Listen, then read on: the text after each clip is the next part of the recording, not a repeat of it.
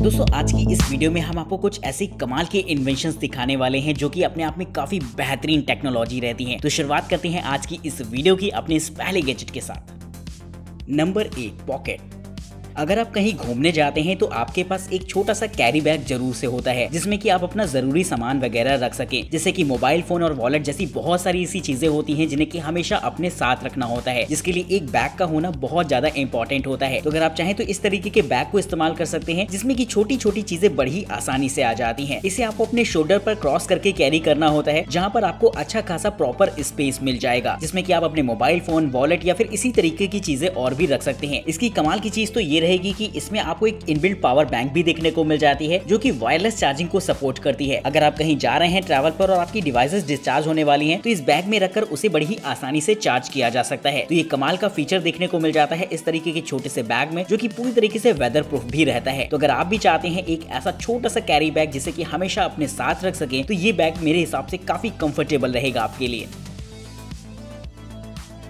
Number seven scissor mirror हमें से बहुत से लोगों की आदत होती है कि चेयर पर बैठते समय हम अपनी पीठ को हल्का सा झुका लेते हैं, जिसकी वजह से अक्सर हमारी बैकबोन में दर्द भी होने लगता है। तो एक तरीके से बैठने का तरीका ये सही नहीं होता है, जिससे बचने के लिए पोस्टर करेक्टर का इस्तेमाल किया जा सकता है। लेकिन नॉर्मली जो पोस्टर करेक्टर आते हैं उन्हें आपको अपनी बॉडी पर पहनना होता है, जो की कहीं ना कहीं थोड़ा सा अनकंफर्टेबल कर देने वाला होता है। साथ ही गर्मी के मौसम में किसी भी तरीके की हैवी डिवाइस को पहनना अपने आप में एक काफ़ी ज़्यादा दिक्कत वाली बात भी होती है। तो इससे अगर आप बचना चाहते हैं तो इस तरीके के पोस्टर करेक्टर को इस्तेमाल इस्तेमाल कर सकते हैं। इस गैजेट की खास बात ये रहेगी कि इसे बस आपको अपनी टेबल पर रखना होगा और इसमें कैमरास और सेंसर्स लगे होते हैं। और जैसे ही आप हल्का सा भी झुकते हैं तो फ़ौरन इसमें आपको एक बीप सुनाई देगी, जो कि कहीं ना कहीं आपको सही से बैठने के लिए कहेगी। ये ठीक वैसे ही काम करता है, जैसे की घर पर लोग आपको सही से बैठने के लिए टोकते हैं। ये गैजेट भी ठीक वैसे ही आपके लिए टोकने का काम करेगा। ये गैजेट आपके मोबाइल फ़ोन से भी कनेक्ट रहता है, जिसमें की सारी डिटेल्स वगैरह भी होती है की कितनी बार इस गैजेट ने आपके पोस्टर को करेक्ट किया है। तो दोस्तों, काफ़ी कमाल की टेक्नोलॉजी देखने को मिल जाती है, जो की बेसिक फ़ंक्शन पर काम करती है, लेकिन हमारी डेली लाइफ में इसकी नीड एक नेक्स्ट लेवल पर होती है। तो कमेंट करके बताएगा कि अभी आप वीडियो देखते समय किस तरीके के पोस्टर में बैठे हैं, एकदम स्ट्रेट होकर या फिर हल्का सा झुककर।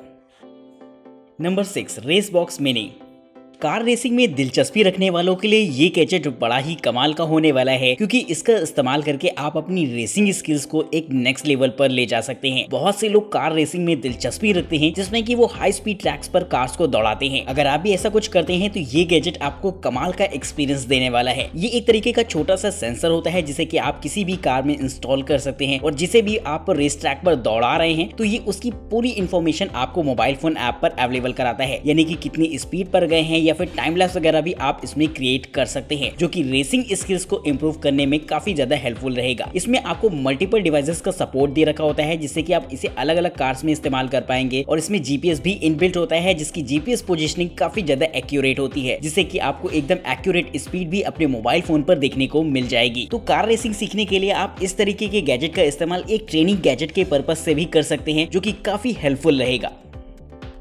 Number five woof and mew litter box अगर आप अपने घर में कैट्स को पालते हैं तो आपके घर में एक लेटर बॉक्स ज़रूर से होगा। और अगर नहीं है तो ये गैजेट आपको काफ़ी इंटरेस्टिंग लगने वाला है। ये ग्लोब जैसा दिखने वाला एक ऐसा लेटर बॉक्स होता है, जिसमें कि आपके पेट्स द्वारा किया गया सारा वेस्टेज डिस्पोज हो जाता है। इस ग्लोब जैसे दिखने वाले स्ट्रक्चर को आप रोटेट करा सकते हैं, जिससे की जो भी वेस्ट मटेरियल होता है, वो पूरा का पूरा इसके एक कलेक्शन बॉक्स में चला जाता है जिसे की आप इजिली कहीं भी जाकर डिस्पोज कर सकते हैं। यानी की अगर आप अपने पेट्स को बाहर टहलाने नहीं ले जा पा रहे हैं तो इस तरीके का लेटर बॉक्स उनके लिए काफ़ी काफ़ी ज़्यादा हेल्पफुल रहेगा।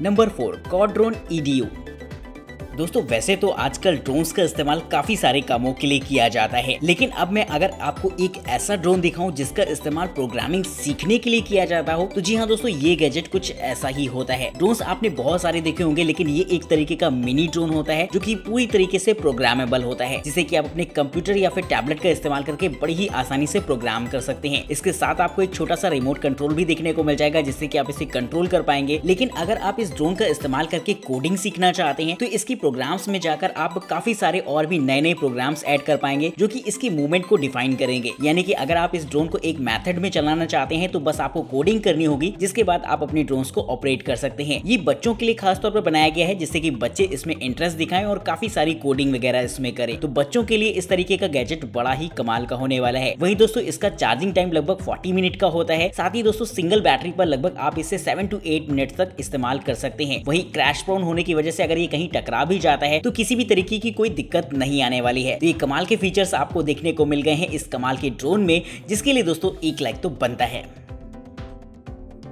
Number third clarity C R scan दोस्तों, थ्री स्कैनिंग काफ़ी ज़्यादा ज़रूरी होती है किसी भी प्रोटोटाइप को रियलिटी में लाने के लिए। क्योंकि जब भी किसी प्रोटोटाइप को बनाया जाता है तो सबसे पहले उसको थ्री में स्कैन किया जाता है, जिसके बाद उसके प्रोज एंड कॉन्स को कैलकुलेट करके ही उसे रियलिटी में लाया जाता है। तो अगर आप भी कुछ ऐसा ही करते हैं और कुछ यूनिक करना चाहते हैं तो इस्तेमाल कर सकते हैं इस तरीके के थ्री स्कैनर को। नॉर्मली अगर आप थ्री स्कैनर को देखेंगे तो काफ़ी ज़्यादा साइज़ में बड़े, भारी भरकम भी होते हैं। लेकिन दोस्तों, ये एक तरीके का ऐसा हैंडहेल्ड स्कैनर होगा, जिससे की आप हाथों में इस गैजेट को पकड़ के बड़ी ही आसानी से स्कैनिंग कर पाएँगे। जी हाँ दोस्तों साइज़ में ये इतना ज़्यादा छोटा होता है कि आप इसे अपनी पॉकेट में भी इजिली रख सकते हैं। और जब भी आपको किसी भी ऑब्जेक्ट को स्कैन करना है तो इसके सॉफ्टवेयर की मदद से उसे आसानी से स्कैन किया जा सकता है। वही दोस्तों, ये आपको कलर स्कैनिंग के फीचर्स भी देता है, जो की इसे एक और एडवांस गैजेट बनाएगा। इसकी स्कैनिंग प्रोटोटाइप्स का इस्तेमाल आप थ्री प्रिंटिंग में भी कर सकते हैं, जो की अपने आप में एक कमाल का एक्सपीरियंस रहेगा। तो अगर आपको भी चीज़ें स्कैन करने की ज़रूरत पड़ती है अक्सर, या फिर अगर आप थ्री प्रिंटिंग में दिलचस्पी रखते हैं तो इस तरीके के गैजेट को ज़रूर से इस्तेमाल करिएगा, जो की आपको एक अलग ही लेवल की फील देगा। Number second Bose sleep buds दोस्तों, अगर आप ईयरबड्स का इस्तेमाल करते हैं तो एक चीज़ तो आपने ज़रूर से फील करी होगी कि अगर आप रात के समय ईयरबड्स को कान में लगाते हैं तो सोने में काफ़ी ज़्यादा दिक्कत आती है। क्योंकि ज़्यादातर ईयरबड्स का एक हिस्सा बाहर की तरफ़ रहता है, जो कि सोने में बहुत ज़्यादा अनकंफर्टेबल सा कर देता है। तो बोस ने इसी प्रॉब्लम को देखते हुए खास तौर पर एक ऐसे ईयरबड्स तैयार किए हैं, जिन्हें की आप सोते वक्त भी इस्तेमाल कर सकते हैं। जी हाँ दोस्तों, इन ईयरबड्स का डिज़ाइन कुछ ऐसा होता है, जिसमें की इन ईयरबड्स का सारा का सारा हिस्सा आपके कानों के अंदर की तरफ़ रहेगा, जिससे की रात के सोते समय आपको किसी भी तरीके की कोई दिक्कत नहीं होगी। तो इसका इस्तेमाल आप म्यूज़िक लिसनिंग के लिए कर सकते हैं या फिर कॉल्स वगैरह अटेंड करने के लिए भी कर सकते हैं। वही दोस्तों सिंगल चार्ज पर लगभग आप इन्हें दस घंटों तक इस्तेमाल कर पाएँगे, जो की अपने आप में कमाल की बात रहेगी और इसकी साउंड क्वालिटी का भी कोई जवाब नहीं। तो अगर आपको भी बोस की साउंड पसंद आती है तो इस गैजेट के लिए दोस्तों, एक लाइक तो बनता है। Number one Q cam ego snap दोस्तों, अगर आप एक ऐसा छोटा सा कॉम्पैक्ट सा कैमरा चाहते हैं जो कि आपको प्रोफेशनल ग्रेड की क्वालिटी अवेलेबल कराए तो ये गैजेट आपको एक बार ज़रूर से ध्यान से देखना चाहिए। इस गैजेट की खास बात रहती है कि ये एक तरीके का ऐसा डिजिटल कैमरा रहेगा जो कि आपको बहुत सारे कमाल के ऑप्शन देता है। ये साइज़ में बहुत छोटा होता है तो इसका इस्तेमाल आप व्लॉगिंग वगैरह के लिए भी कर सकते हैं। साथ ही रियलिस्टिक वे में अगर आप वीडियोस रिकॉर्ड करना चाहते हैं तो भी इसकी क्वालिटी अपने आप में काफ़ी लाजवाब रहेगी। ये एक नॉर्मल कैमरा से काफ़ी हटकर होता है, क्योंकि यहाँ पर आपको थ्री में रिकॉर्ड करने के फीचर्स मिल जाते हैं। हैं, जिससे कि आप वीडियोस को ना सिर्फ़ थ्री में क्रिएट कर सकते हैं, बल्कि उसे इसके साथ दिए गए एक मैग्नेटिक अटैचमेंट्स के ज़रिए देख भी सकते हैं। यानी कि इसके अटैचमेंट्स का इस्तेमाल करके आप रियल में थ्री वीडियोस को रिकॉर्ड होते हुए देख भी पाएँगे। तो काफ़ी कमाल की ये टेक्नोलॉजी देखने को मिली है, जिसका इस्तेमाल पर्सनल वीडियोग्राफी के लिए किया जा सकता है। तो अगर आपको वीडियोग्राफी में बहुत ज़्यादा दिलचस्पी हो, या फिर अगर आप ब्लॉगिंग करना चाहते हैं तो इस्तेमाल कर सकते हैं इस तरीके के कैमराज का, जो की अपने आप में एक वाकई काफ़ी कमाल की टेक्नोलॉजी है। तो दोस्तों कमेंट करके बताएगा की आपको ये कैमराज कैसे लगे हैं। वही इस वीडियो का सबसे बेहतरीन गैजेट आपके हिसाब से कौन सा रहा है? ये बात भी आप हमें कमेंट करके ज़रूर से बताएगा चैनल को सब्सक्राइब करेगा वीडियो पसंद आई हो तो लाइक करना बिल्कुल मत भूलेगा अगर आप वीडियो में दिखाए गए किसी भी गैजेट को खरीदना चाहते हैं या फिर उसके बारे में और भी इन्फॉर्मेशन चाहते हैं तो उनके लिंक्स आपको डिस्क्रिप्शन बॉक्स में देखने को मिल जाएँगे। तब तक नमस्कार दोस्तों, जय हिंद।